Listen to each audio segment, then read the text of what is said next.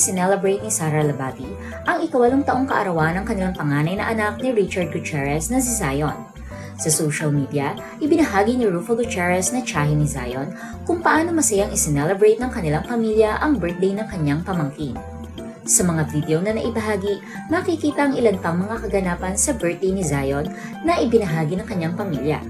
Samantala, kitang-kita naman ang pagkagulat sa mukha ni Zion nang makita nito ang isang motor na pambata na regalo sa kanya ng kanyang mama Sarah.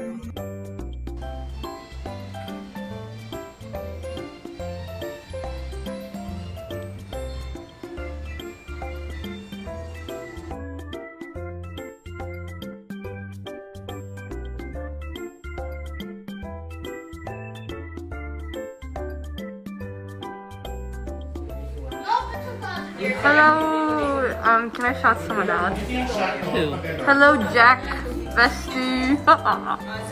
Jack Lopez? Jackson Flood, member from the A AU. Hello, girls. What's your wish for Zion? Long life and true. True what? what is your wish for baby Zion? Toys. Say happy birthday, Zion. Happy birthday, Zion. Happy birthday. Ay, wala pa ba? Happy birthday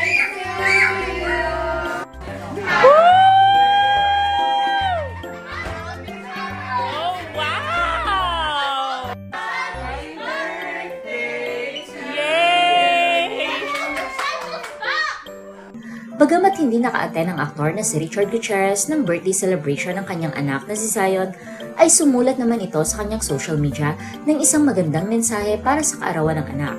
At nangako din ito na magsa-celebrate na lang muli sila pagbalik nito.